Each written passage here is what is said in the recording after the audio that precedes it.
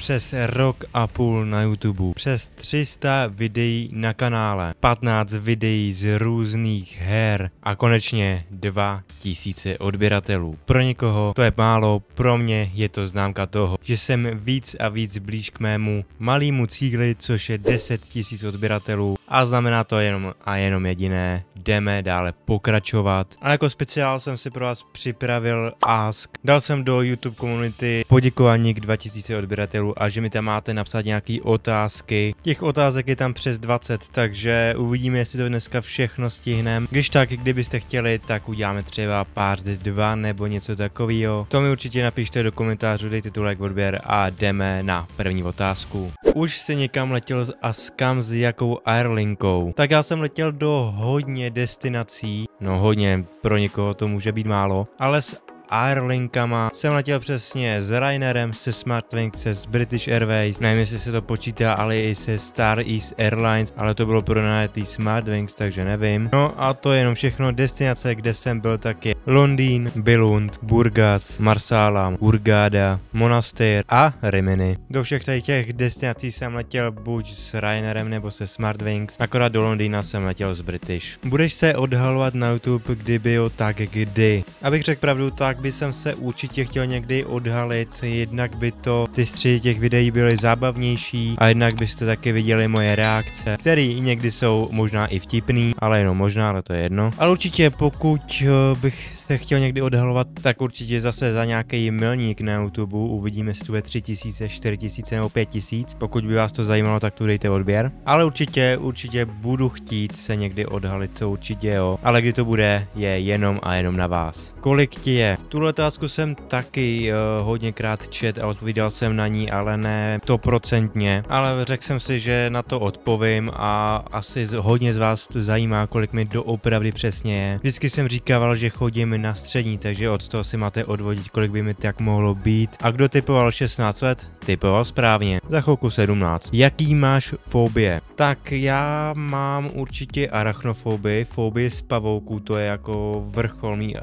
fobie, to se jako bojím fakt nejvíc. Potom určitě mám fob- klaustrofobii, uh, fobii z malých prostorů. Vždycky, když vidím nějaký videa, jak někdo leze do jeskyně a sotva se tam vleze, tak mám z toho úplně husinu a říkám si, do toho bych v životě nikdy nelezl a nešel. Jednak tam můžeš uvíznout a pak uh, to nebude úplně pro tebe příjemný. Jinak malinko ještě mám fobii z hadů, ale to je jenom málo. A nějakou fobii, kterou teď nevím přesný název, talasofobii nebo něco takového, prostě fobii z hlubokých vod, prostě kde je hloubka a nevidíte pod sebe, tak to mám z toho taky fobii. Já vím, jsem docela posera. Ale jako arachnofobie je prostě ta největší fobie, co mám. A uvidíme, třeba ji někdy překonám, ale, ale spíš, spíš ne. Jak dlouho se zajímáš o letadla? Tak já úplně přesně nevím, eh, jak dlouho, ale podle mých eh, dostupných informací od nějakých sedmi let od doby, co jsem letěl poprvé do monasteru, do Tunisu, což mi bylo nějakých sedm, tak když jsem viděl to letadlo a nastupoval jsem do něj, tak jsem si řekl, to je ono, já budu prostě milovník letadel a prostě letectví bude moje vášeň. Ale upřímně je to hodně velká doba, takže si přesně nepamatuju, od kolika opravdu se zajímám o letadla, ale od nějakých těch cca sedmi let určitě jo. Jaké je tvoje nejoblíbenější jídlo? Kdybych řekl pravdu, tak já jich mám několik, ale kdybych si měl vybrat jako fakt fakt top jídlo, tak je to hodně těžký si vybrat, ale asi to možná budou mořský plody s těsto se špagetama, anebo noky, no. Mm.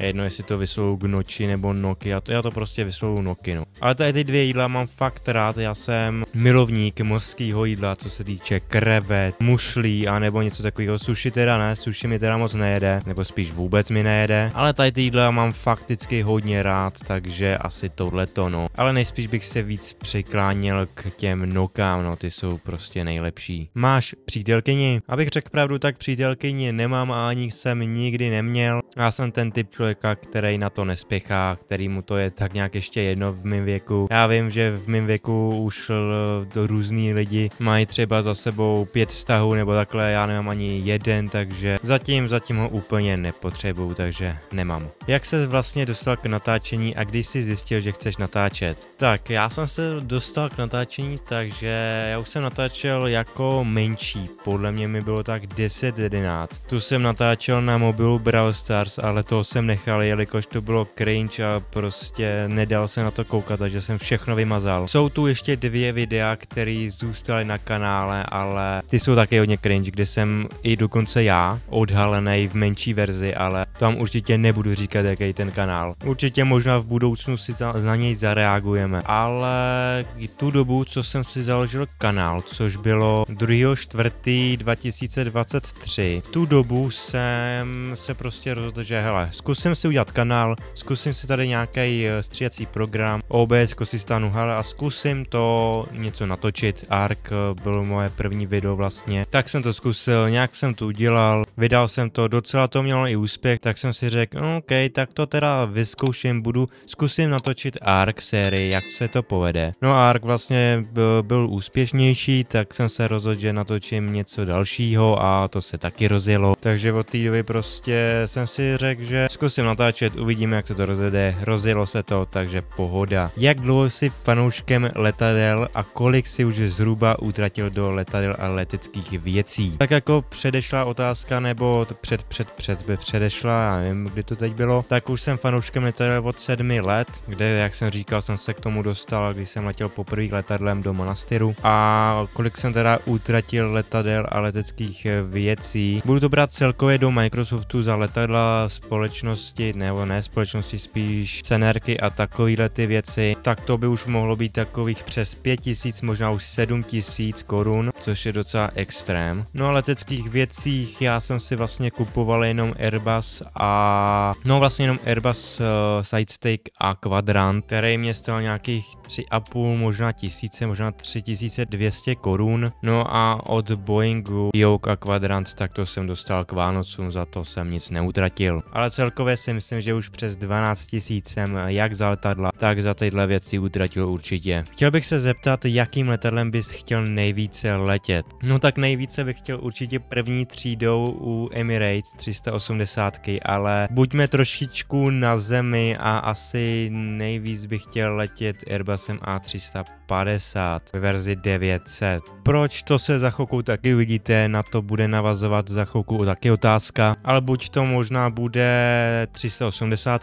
a nebo Airbus A350. To jsou ty dvě letadla, který, kterými by jsem se chtěl proletět v životě. Ale asi nejvíce, mám, jestli by jsem se měl vybrat jedno z těch dvou, tak asi Airbus A350. To je prostě jistota. Chtěl jsem se zeptat, kam nejradši jezdíš na dovolenou. Tak já na dovolený byl jenom v Bulharsku, v Egyptě a nebo v Tunisu a nejradši mám asi to Egypt, protože tam je ten mořský život, že jo, je to tam hodně tam krásně, takže asi nejradši jezdím do Egypta, no, i když by to možná už chtělo nějakou změnu. A teď ta navazující otázka, jaké je tvoje nejoblíbenější letadlo a jaký je nejdelší let, co jsem s ním měl? Tak moje nejoblíbenější letadlo je Airbus A350 ve verzi 900 a nejdelší let, jestli myslíš v Microsoftu, tak žádnej, protože tam není. A jestli myslíš v reálu, tak taky žádný, protože taky jsem s ním vůbec neletěl. Ale určitě bych se chtěl někdy proletět v Airbusu A350. Uvidíme, jestli se to někdy splní. V jaké profesi by si chtěl pracovat? Jestli pilot, kopilot, jakou aerolinku by si vybral? Tak já bych se chtěl určitě pracovat jako pilot, to je asi jasný. Za prvý dostáváš víc peněz a za druhý seš ten jakoby víc postavený v tom, v tom letadle. A jakou aerolinku, tak určitě bych chtěl nějakou americkou, teď nevím jestli Delta American eh, nebo tak,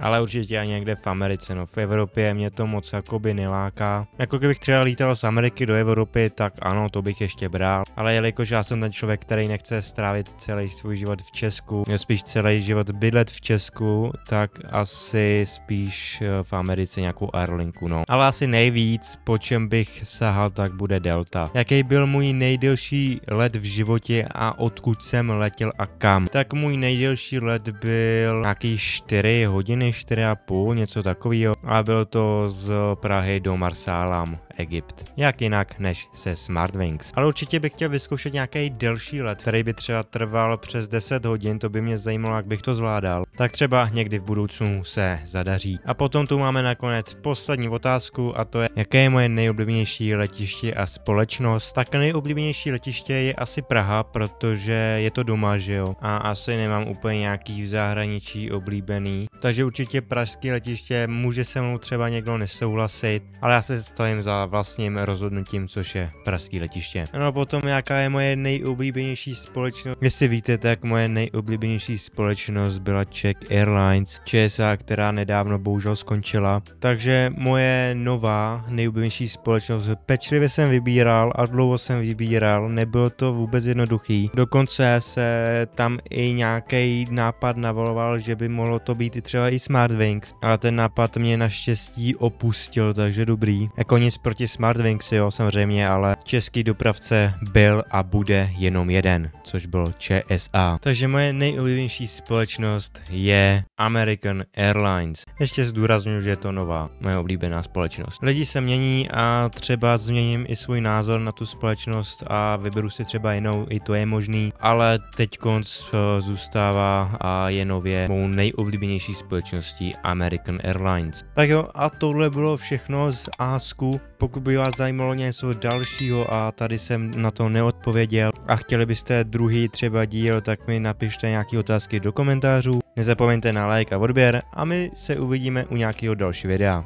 Tak zatím čus.